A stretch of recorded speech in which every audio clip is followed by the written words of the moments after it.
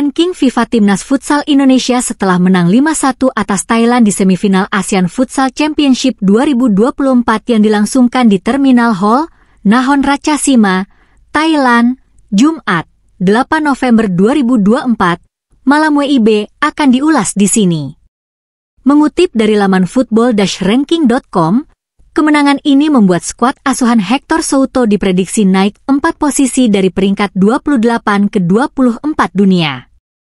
Timnas Futsal Indonesia naik 4 posisi karena mendapatkan tambahan sekira 6 poin di ranking FIFA Futsal terbaru yang akan dirilis pada 21 Desember 2024. Negara-negara yang akan digeser Timnas Futsal Indonesia adalah Kolombia, Slovenia, Uruguay, dan Belanda. Fakta di atas tentunya membahagiakan pencinta futsal tanah air.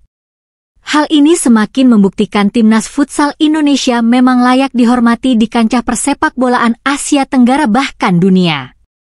Dalam laga yang baru saja berakhir ini, gol-gol kemenangan timnas futsal Indonesia dicetak Evan Soumilena pada menit 8, Brian Ik 22 dan 27, Rio Pangestu 32 dan Firman Ardiansyah 38. Kemenangan ini merupakan yang kedua dicetak timnas futsal Indonesia atas Thailand di ajang ASEAN Futsal Championship. Kemenangan pertama timnas futsal Indonesia atas Thailand terjadi pada 2008 atau 16 tahun lalu. Saat itu, timnas futsal Indonesia menang 3-1 atas Thailand di fase grup.